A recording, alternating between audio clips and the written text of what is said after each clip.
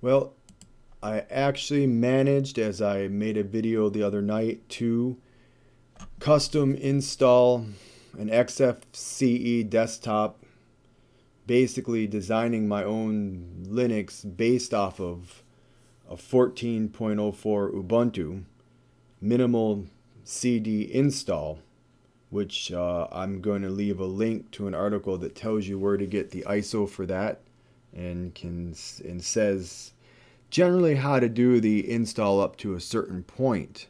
Although the article then uh, tries to give you more than what you need and tries to give you basically the entire GNOME desktop pretty much, which that's not doesn't seem like that would be what you would want to do if you were to go through all the trouble of customizing anything. You would just go get the GNOME ISO. The reason I used Ubuntu is because well, first of all, that was what was in the article, but second of all, I knew that was what was going to be the easiest. A lot of people talk about Arch as being customizable, and uh, that's true, but that's like a whole different learning curve. And um, most people who do Linux generally, I would say most of the time, come from, uh, I could be wrong, but come from the, the background of Ubuntu and Debian based uh, systems first, just because Ubuntu, Linux Mint are the easiest, and so that's that's why I did that because it was the easiest to work with.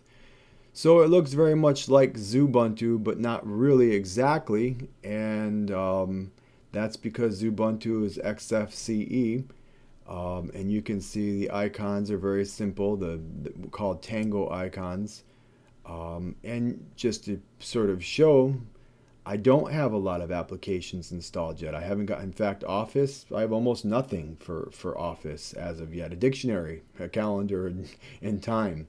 And I don't know if I'm going to have a lot because that's not what I intend to use this for. I tend to do more multimedia things, maybe a little bit of graphics. And that you so so you see, this is what the benefit of this is. You can install the software that you want to install rather than be stuck with whatever they stick you with. And and, and I don't like having uh, Xubuntu insist on me having to have AbiWord. And if I take AbiWord out, if I uninstall it, then it seems to affect other. It, everything seems to be relying on everything else in these in these operating systems. Dependencies and such is what I'm talking about. Anyway, to get to the point and to make this a little bit shorter, the way to do this is you follow the directions in the link I'm going to attempt to leave in the description. Uh, it's simply you go through the install process of a mini ISO uh, CD uh, install, uh, base install, and then you get to a certain point and you basically um, choose. The point is where you can choose the software. And this is all in the description in the, uh, the article i'm going to post. And instead of choosing a desktop let's say you go to the very bottom of the list and you choose manage your own software. Then you go through the rest of your um, the rest of your installation boot into your new desktop uh, but make sure you hit alt f1 um, and um, then basically, uh, that's where you can start um, choosing your software. Disclaimer I'm not saying this is a how to, I'm saying this is what worked for me. And it might not work for anybody else, I don't know. Uh, but it did work for me. So basically, the package that you need, the main package, uh, is just XFCE4. So it would be sudo apt-get install xfce4 and that's the most most of the work. Make sure that you have something called XDM.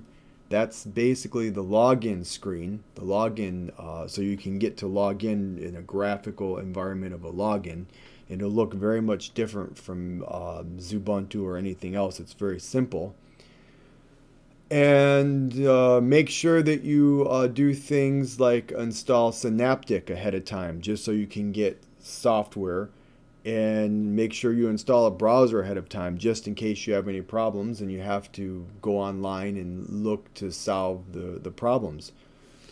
After that, you should have, I can't make any promises, uh, an S an XFCE in my case, uh, if that's what you you chose. Uh, the other packages you could choose are the GDM uh, GNOME Core and GDM Settings Manager, and he goes over that in the article. And in any of the desktops, if you find the package, just look up what the package is for the desktop, not the actual Ubuntu or what have you, but the actual LXDE, I guess it is, whatever the official name of that, whatever it is in the repository would be. And, and, and in this case, XFCE4 is the official name of, of the desktop. Plus, you have to have a few other things. Might be a good thing to add a terminal up front just in case as well. It's always good to be able to have a terminal in case something's messed up, and then you can at least have access to that and and get um, and get software or fix things. So you can see it's very basic, and that's pretty much all I have to say about it right now.